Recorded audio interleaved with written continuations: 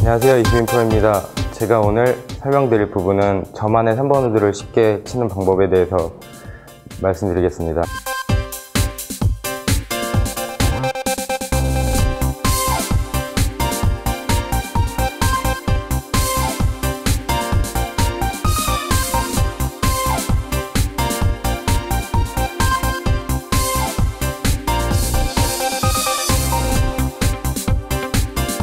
일단 대부분 많은 아마추어 분들이 3번 우드를 칠 때 페어에서 칠 때 볼을 일부러 띄우려고 어깨에 힘이 들어가서 뒤집어지는 부분이 많이 나오는데요.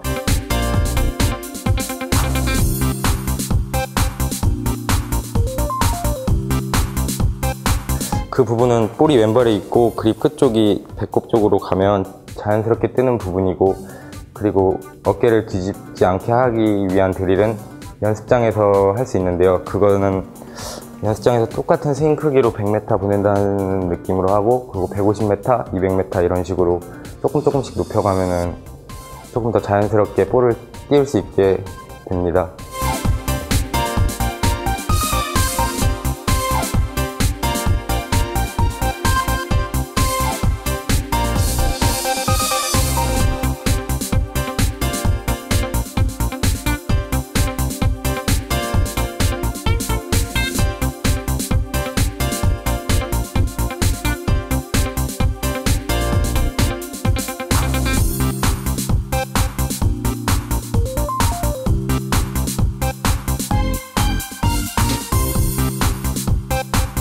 지금까지 이승민 프로였습니다. 감사합니다.